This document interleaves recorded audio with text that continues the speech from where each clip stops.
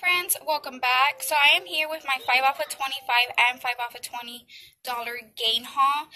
Both of those coupons came off for me. It were it came out perfectly fine. Um, this is something i um, just did just to make see if my 5 off of 20 gain was going to work because the last time i tried it it didn't even work for me. So i am using digitals and i am using paper coupons.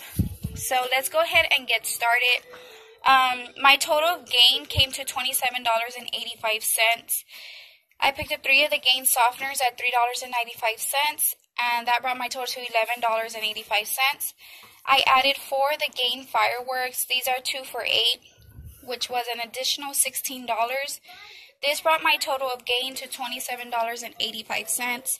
I was worried that it wasn't going to work together, so I went ahead and threw in some freebies.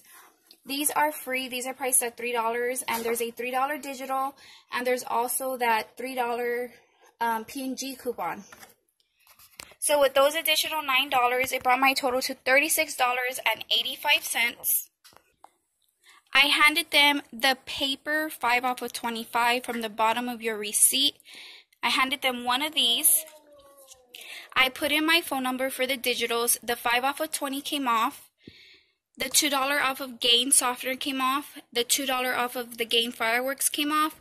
And the $3 off of the, the Febreze plug came off. Then I handed them five of these $2, $2 off of one Gain fireworks. 5.7 ounces or larger and the Gain liquid fabric softener 48 loads or larger. The softener is 48 loads and the fireworks are 6.5 ounces.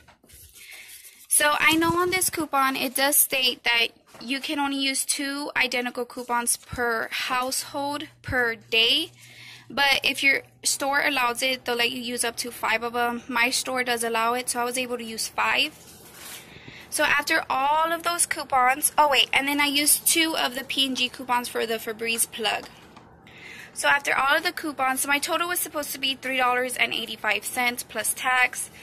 But if you see right here, um, it my subtotal was I can't get it to focus. My subtotal was three dollars and ninety one cents, which is a six cents difference. It's not a big deal. I'll pay it. I don't care about the. I really don't care about the six cents. But it was $3.91 for everything pictured here. I had a total savings of $30.94. With tax, I paid $4.23. Which is not a bad deal at all, guys, because I have 10 items here for only $4.23. So that makes it, I don't know, like 40 some cents per item, which is an amazing deal for some gain and some Febreze plugs. So everything came out perfectly fine. Let me show you. like there are the store discounts right there. You see two store discounts because one's the 5 off of 25 and one's the 5 off of 20. So it definitely worked for me. Again, I handed them the paper 5 off of 25. I don't know if it's going to work for the digital, but to be safe, I used the paper coupon. and also I added an extra $9 to make sure it worked for me because last time it didn't. So I hope you guys enjoyed this video.